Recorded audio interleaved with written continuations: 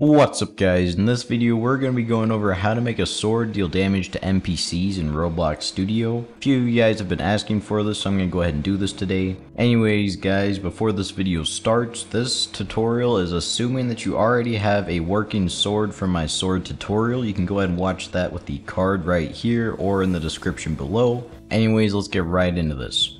So in order to start, there are a few things we can do. The first thing is go into the avatar tab, open up the rig builder and then insert a new rig like this. This could be our dummy that we want to be able to attack with the sword or we can go ahead and go to the home tab, open up the toolbox, search in the plugins with this little drop down menu right here for Load Character Lite, install this and then upload our character to Roblox Studio. Or we can go ahead and use any custom rig that we have that has a humanoid. As for this tutorial, I'm just going to be using a dummy, but this does work with anything that has a humanoid and is properly rigged. In order to start, we need to go inside of our dummy right here, click on the plus icon to the right of that, and then search for a bool value. Now, this is basically short for a boolean value. It is basically true or false. Right now it's set to false, but you can set this to either true or false. Now we've got this value inside of our dummy. We can click on it and name it to NPC. I'm just going to use mine all capitals, that way I can keep track of it and find it easier inside of our script. Anyways, we can close off the dummy right now and go into our sword script. My sword is currently in the starter pack, so I'm going to open that up and go into my sword and open up this script. So this is my script right here that we used in the sword tutorial. We're going to be changing this up a bit today. Basically, I'm to get rid of this function down here and start it up from scratch. So in order to start, we've got this tool right here, which is the script.parent. So it's the tool that is our sword.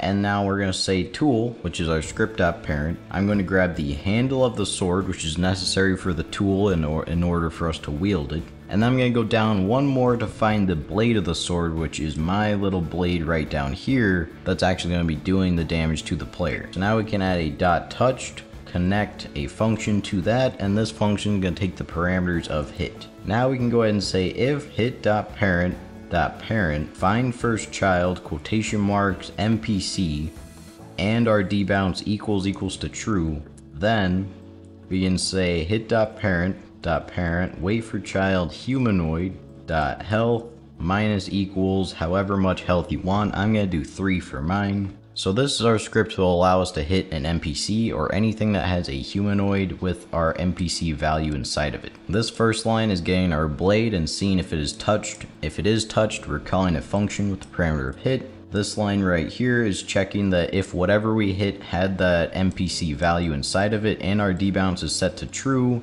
then we're going to go ahead and deal the damage to whatever we hit's humanoid, if that makes sense. We can test this out by clicking on play. So one thing I did forget about is this is not going to work with a dummy, unfortunately, so we are going to have to use AlreadyPro's character loader light, Load Character Lite I mean. If you click on this and install it, Roblox will automatically install the plugin. You can X out of the toolbox now, open up your plugins tab, and then go over to your now load character easy or light plugin. Now when you click on this, a little window will open up. This where you can load any character you want.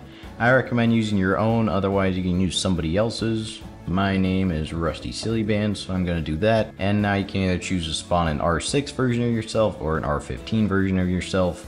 I'm personally going to use R15. So now that my R15 character is here in the workspace, this is my NPC. To be honest, I do not exactly know why Load Character Pro's plugin works better than the rig builder. The only thing I can think of really is that since it's a dummy and it's only meant for animating really, it can't really be used for this type of scripting things. Anyways, now we've got our brand new NPC, we can click on the plus icon once again, add in our bool value, and then rename this to NPC. Just like this. Now we've got our NPC set up, we can click on play once again and test this out. When I wield my sword and attack this dummy, you can see it will now be doing damage to the player, not the player, but the NPC here, because whatever we're attacking has the NPC value inside of it. I'm going to do a simple test to make sure that this won't hit a player, because that's not what we want with this. So joining in with my sword, you can see when I attack the player, I can't do any damage to the player because that player doesn't have our NPC value inside of it. However, when I go ahead and attack this NPC, you can see I'm now doing damage to that NPC. So this is something incredibly cool to learn, incredibly cool to find out.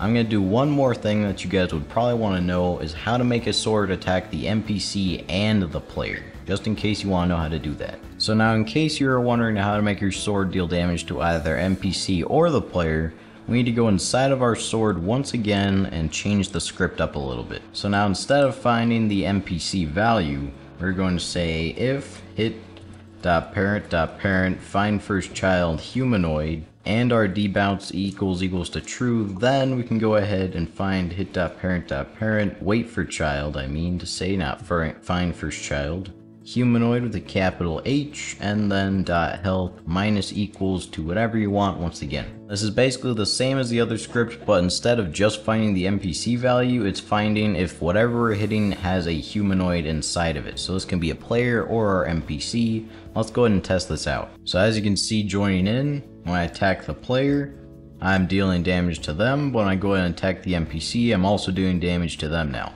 So it's whatever you want to do with it. Have fun with this. Make sure you like, subscribe, and comment down below your ideas, thoughts, or even imaginations or things you can do with this. Goodbye, guys.